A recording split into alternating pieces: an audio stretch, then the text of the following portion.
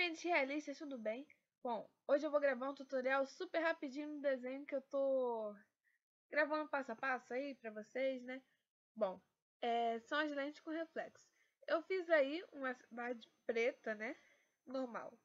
Pintei com lápis no mistério, passei o pincel cortado ali para poder tampar os poros do papel. Ficou aquele preto absoluto que a gente já conhece aqui do canal.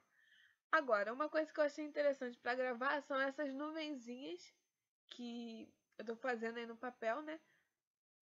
E eu achei simplesmente demais, né? Porque quase todos os óculos eles refletem nuvens.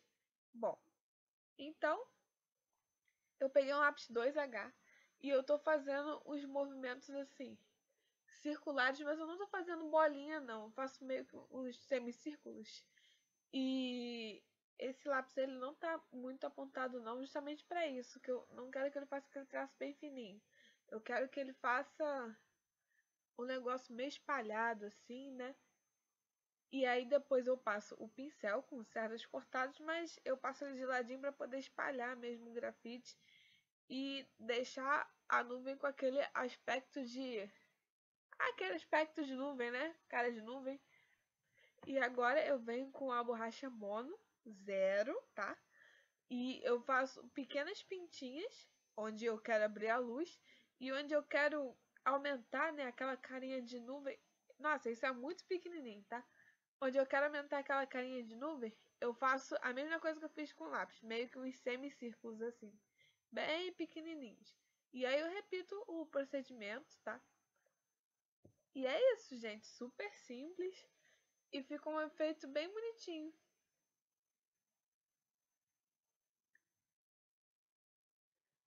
Agora, refazendo todo o procedimento na outra lente. Né? O preto absoluto, que a gente já conhece.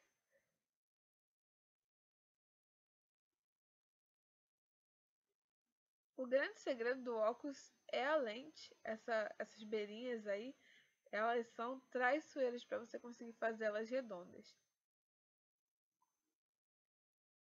E quanto mais contraste, no, tipo, esse tem muito contraste.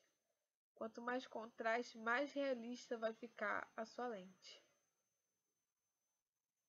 Agora na, na outra lente eu vou usar né, uma técnica diferente para poder mostrar para vocês que pode fazer a mesma coisa de várias formas.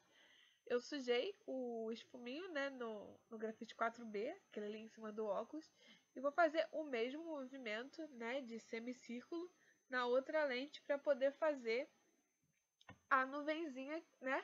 Nossa querida. Agora a imagem deu uma melhorada, né? Eu melhorei a luz e agora tá melhor de ver. E aí onde eu quero a nuvem mais escura, eu passo o esfuminho mais vezes. Como se fosse um lápis mesmo. Passei a primeira camada, não ficou legal. Passo a segunda camada. E agora eu tô espalhando com pincel. Na pincel é ótimo para espalhar. Eu gosto mais do esfuminho para fazer esses detalhes pontuais e espalhar mesmo com pincel. Não tem outro para mim. E a gente está muito bem. Aí, é, as nuvens mais escuras mesmo eu faço com a lapiseira, né, que tem um grafite 4B. Não são muitas, é só o cantinho mesmo, né, que é onde tem mais sombra geralmente fica mais escuro, né. Então eu fiz isso aí. Aí tem uns pontos que tem muita luz, tipo assim, são bem branquinhos, mas são bem pequenos. Então eu uso a essa mono, né, que não é a zero, para poder fazer. E esse aí é o resultado final. Ah, esse papel aí é aquele papel que tem algodão na composição. Ele é um céu para desenhar, literalmente. É isso, beijinho, se inscreva no meu canal, curte o vídeo e comenta. Tchau!